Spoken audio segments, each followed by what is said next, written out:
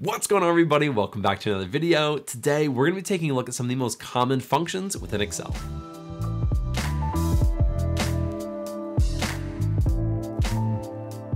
These functions that we're gonna take a look at are ones that I use almost every single time I'm in Excel. And so these are gonna be really important for you to know, especially as you start using Excel more. So without wasting any more time, let's jump onto my screen and take a look. So let's get started. And the first one that we're going to look at is aggregate functions. And I use these almost every single time I'm in Excel. So these are extremely, extremely common to use. These are probably ones out of all the ones that we're going to look at today that you probably have used the most. And aggregate functions are quite simple. They're going to take an array, or in this case, a column of numbers, and you're going to be able to perform an aggregation on them. So you're either going to sum them up, you'll take an average of the number, or we can get a count of how many numbers are in here.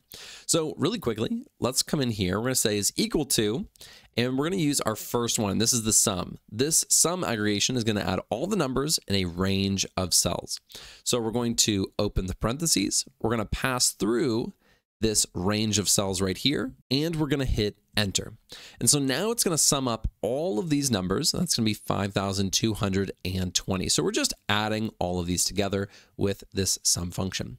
Next, we're going to do is take an average. Now to write this, we're going to say is equal to, and we have to spell out average.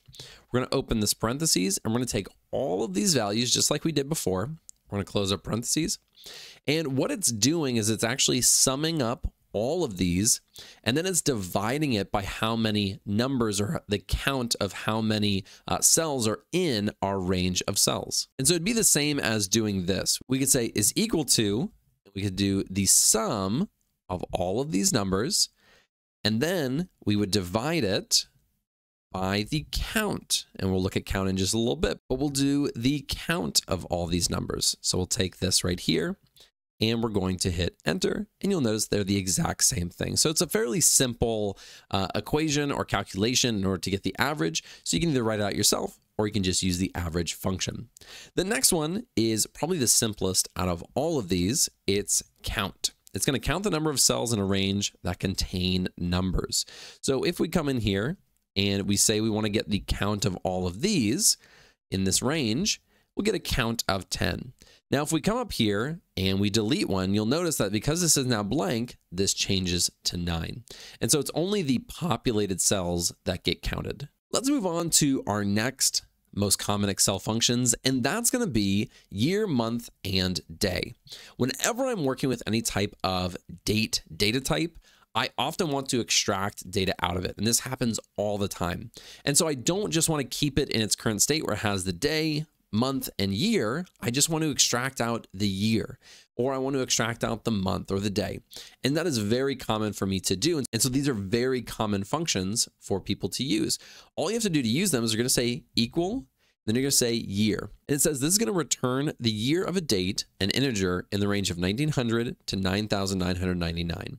Now, if you didn't know, and this is just a little extra fact, is Excel can't do things that are before 1900. So uh, let's actually write this real quick. We're going to choose this one. It extracts that 2024 and we can drag that down and that's going to work beautifully. And if we copy this and we change this to, uh, let's do 1901, just like this. If we drag this down, it's going to work beautifully. But what happens if we change this to, I don't know, the year uh, 1472? Now you'll notice it's no longer acting like a date where it's on the right side of this cell. It's now acting as a string. So then if we pull this down and we try to get it to work, it's not going to work because it's viewing it as a string. So this is just one of those nuances within Excel. Uh, they don't like historical events in Excel. So, you know, don't do anything historical ever in here. Uh, the next one that we can do is the exact same way we did year, we can do month. And all we have to do is type month, and then this is going to return the month within this date cell. So then we're going to select our date, and it's going to extract the actual month. So we have one, two, three, four, five, five. And if we bring it all the way down, we're only taking out the month that is within this uh, date over here. Next one we can do is the actual date. We're to say is equal to day. This is going to return the day of the month. And again, we'll pass through our date cell. We'll drag this down. And there we go. So now we have this all broken up and we can better perform certain aggregations on the year, month, or day, depending on what we're actually wanting to do with the data. And again, this is done all the time. So it's really common uh, to use these specific functions. Let's head over to formatting. Now I'm calling this formatting, but it's more like text string manipulation. Uh, there's already formatting within Excel, but let's take a look at some of these. So we have this name right here, and it happens all the time with real data where the data isn't all in the same format. Sometimes things just go wrong and you want to format it all the same. And so it's very common to take data like this and format it all in the same way using one of these uh, string functions. So we have upper, which right here, it's going to convert a text string to all uppercase letters. So again, if we pass this through, or, uh, you know, this is a fun one because we can pass through just this one cell, or we should be able to pass through this entire array or this uh, cell reference. And then it's going to populate all the way down. And so we can do the same for lower. It's going to be the exact opposite of upper, where we're going to take this entire uh, reference cell. It's going to make it all lowercase. Or we can do proper. And I personally love typically either upper or proper. I don't personally use lower that much. I just don't like how it looks. So for a lot of my work, I usually make it upper or proper, depending on uh, the actual use case. But I'm going to type proper in. And this one's unique because it's going to convert a text string to proper case, the first letter in each word to uppercase and all of the letters to lowercase. And this would kind of be what you would expect for a name column. We'll pass through that whole array. And this just looks uh, really clean, really nice. And I do this one a lot with names or locations or things like that, where I know it should look like this and, you know, it doesn't have to exactly look like an upper or lower. And so that's just the one that I uh, personally prefer. Now let's come over here to this logical tab. In here, we have some information on student names. So we have our student name, we have math, English, and science, and these are their scores. And what we want to create is some type of logic. Maybe we want to say if they have a certain score within their math, then they're going to pass. And if not, then they're going to fail. Now we could easily come through here and say, okay, this guy, this guy failed, this guy passed, uh, this lady failed, this guy uh, passed. You can do that manually, and that's going to take forever. But what you want to do is you want to say there's thousands of these. You just want to create a logic that you can apply to every single row. So we can come in here and we're going to write an if function. This is going to check whether a condition is met and return one value if true and another value if false. And if we open up this parenthesis, you'll see we have a logical test, value if true, and value if false. So we're going to say if this is greater than, let's say 60, then our value of true. If that is a true statement, then that means that this is a pass. If it is false, if it's less than 60, that means it's a fail. And then we're just going to pass this along all the way down. And you can see fail, pass, fail, pass, and fail. Now, there's another type of logical functions within Excel, and that's where you combine an aggregate function with an if statement. And for this one, we can do a count if. So it's an if function like we just did, but within a count aggregation. And this is going to count the number of cells within a range that meet the given criteria. So we have count if, and for our range, it's going to be these cells right here. Now, when we hit comma, we have to specify our criteria. Now, this is just a little bit different than this over here. We can still do greater than 60, but we have to put it within quotes. So we have to do quote greater than 60 quote, and then we close it. And you can see we have two that had greater than 60, aka two that passed.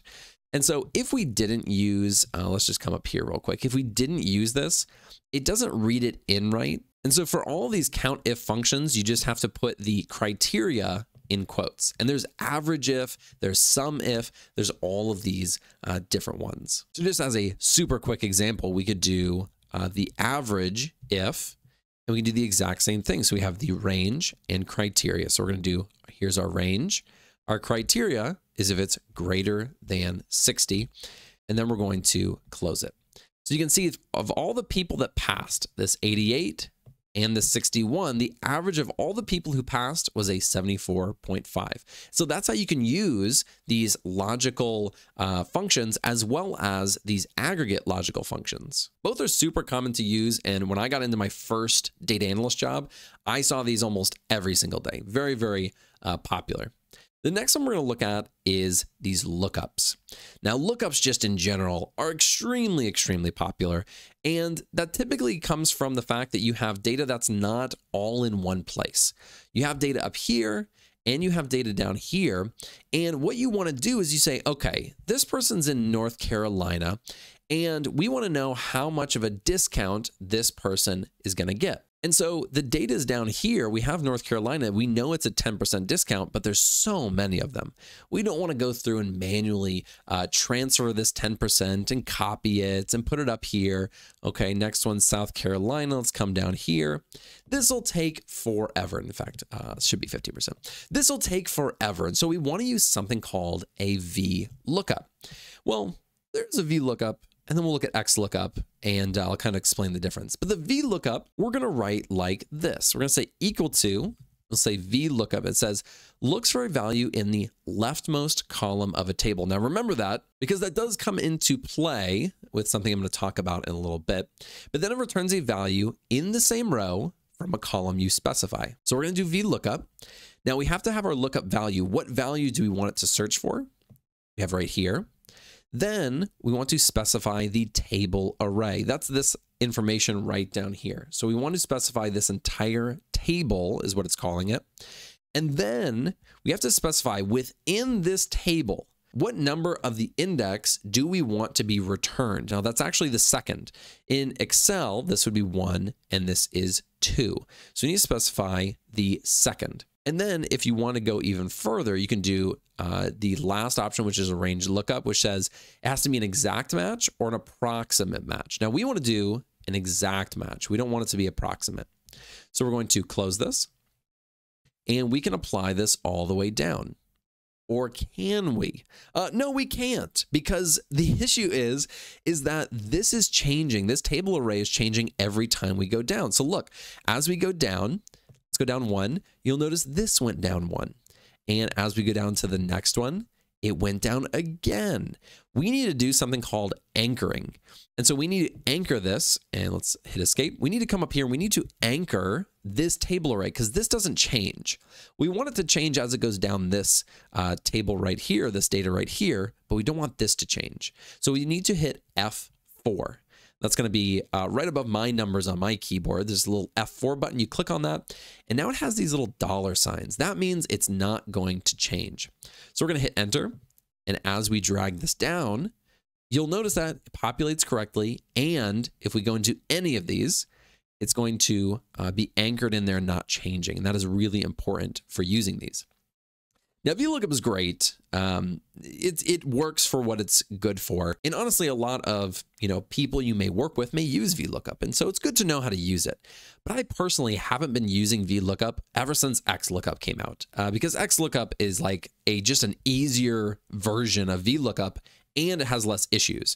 And i am going to kind of explain the limiting factor within VLOOKUP in just a second. So we're going to do XLOOKUP. So we're going to come over here. We're going to say X lookup. Now this is going to search a range or an array for a match and return the correspond and return the corresponding item from a second range or array. And this one, the syntax is much easier. We have a, our lookup value, just like before. We have our lookup array, that's this one, and we have our return array, and that's it. That's all we need.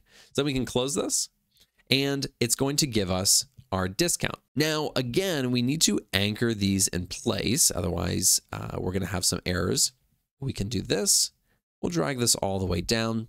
And it looks like this one is being read in as a percentage. This is just a general data type. So they're the exact same thing.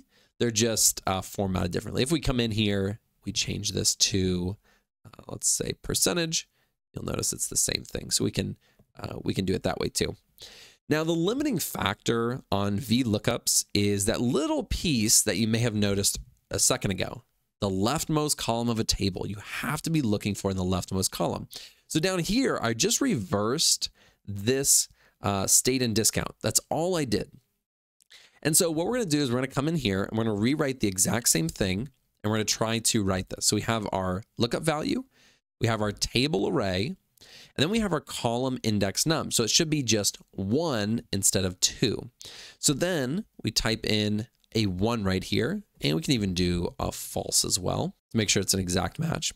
But when we hit enter, it's not going to work. And that's because it automatically is defaulting to needing to look in that left-hand column for the value that you're passing through. So North Carolina has to be on this left-hand side. You cannot put other values in the left-hand side. And that does matter because when you start working with uh, larger data sets and you know more complex data, the data doesn't always sit perfectly just like this. And so you then have to rework all of your stuff and switch columns around to make it work. And it can just get, you know, a little bit confusing. And so I personally love X lookup. Now there's also one called H lookup it's essentially the exact same thing for VLOOKUP except horizontal because VLOOKUP stands for vertical, like this. And an HLOOKUP is horizontal like this, but the exact same thing. And so all of these functions in Excel are ones that you're going to see almost every single day if you're working in Excel. I know that I have used and seen these a million times uh, within Excel over my years of working in it, and they're just crazy common to use. And so I highly recommend learning all of these different types of functions. With that being said, that is the end of the video. Thank you guys so much for watching. If you liked it, be sure to like and subscribe. If you haven't already, check out analystbuilder.com. I have a full Excel course on there, as well as a ton of other stuff like SQL, Excel, Pandas, Tableau, and more. Thank you guys for watching, and I will see you in the next one.